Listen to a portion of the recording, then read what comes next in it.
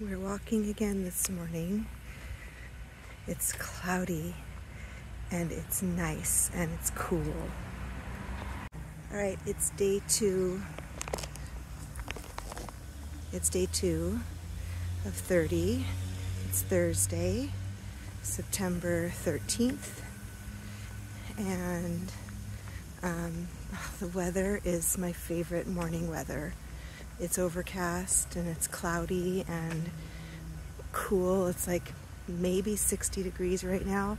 And it's such a reprieve because it's been like 80 degrees first thing in the morning here in Southern California.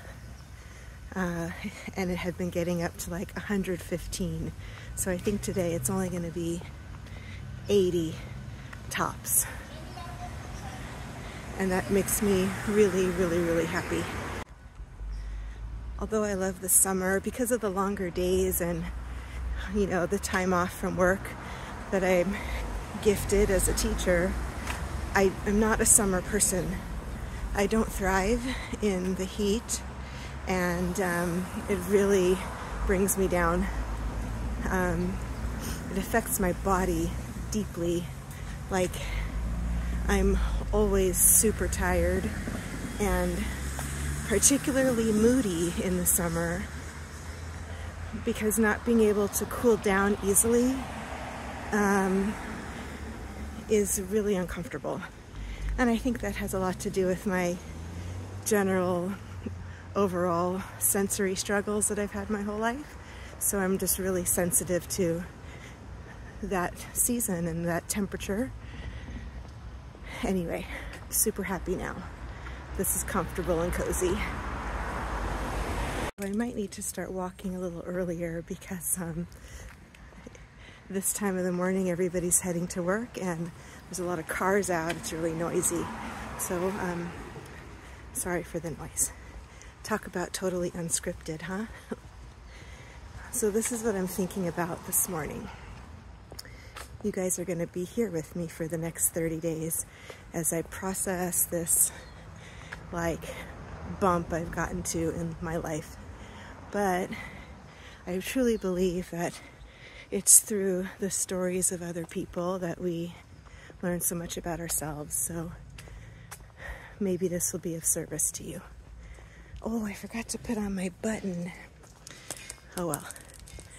I was going to wear my other button that says, kind is cool. Um, and that's what I want to talk about. I'm a firm believer in being a kind person um, and doing acts of kindness. And I have always made it a priority to be kind to people. You know, I mean, yeah, we, we all should be kind. But I've, like, always put other people first, always, at the expense of myself. And so here I am, 55, completely burnt out from parenting, from teaching for 26 years, from being through a difficult divorce, going through a difficult custody battle a number of years ago, general childhood trauma, and still being a nice, good person, kind, loving, patient with everybody except myself. so, this is where it leads me now. Um, in order for me to better care for myself, I need to.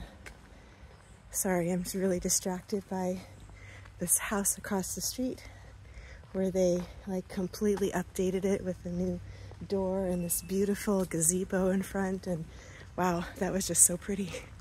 Um, it tells you how long it's been since I've been walking like this house is totally redone and I hadn't even seen it yet. um, I need to be kind to myself. And I need to start giving back to me. Now, this leads to a bigger situation, which is that my work, teaching, takes just about all of the life out of me. It takes a lot of kindness to be available intellectually, mentally, physically, and emotionally to 24 human beings that I have to be in front of every day. But also, not just them, but to all the other staff and administration that I work with.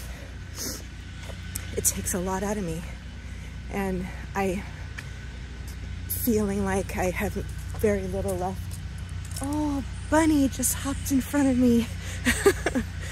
that was so cute. I have very little left for me. And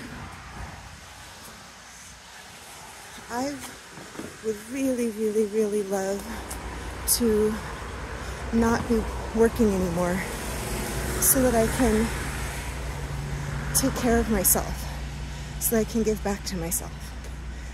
I'm at an age where it's about time to start considering retiring, but I can't yet. I have to work through my 58th year in order to receive my lifetime health benefit. And that's an amazing benefit to be given. I'm not willing to give that up. So I have to find ways to deeply care for myself and deeply be kind to myself over the next four years so that when I do retire, and I'm going to do it at 58, I'm not working until I'm 62 or 65. But when I do retire, I still have life in me so that I can enjoy the next 55 years after that. That's what I need to do. So these walks with you in the morning are the first step to being kind to myself.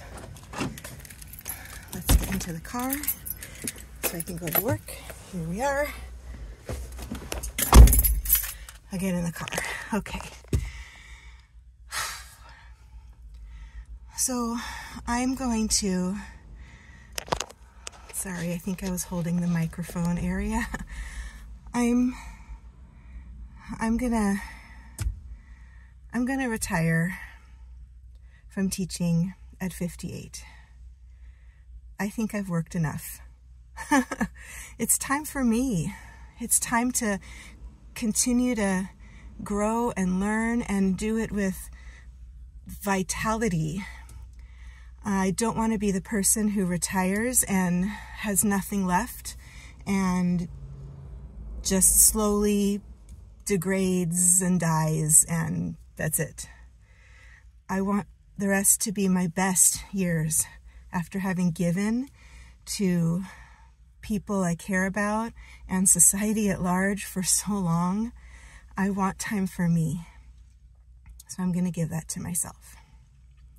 Now, what I do want to say, and I know like my friends here are not the people who are going to watch this and say what's on my mind right now, but the thing that's on my mind right now, and this is just me being um, a little bit insecure, but the thing being on my mind right now is that this is coming across as whiny, and I'm not whining. Like, I've already, I've I've done it already. I've been of service and I deserve um, I deserve this time for to live my life the way that I want to live it without the con- constraints of anybody else's rules.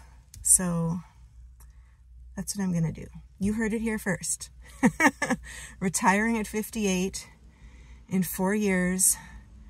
I'm getting on it now. Thanks for walking with me. I'll see you tomorrow.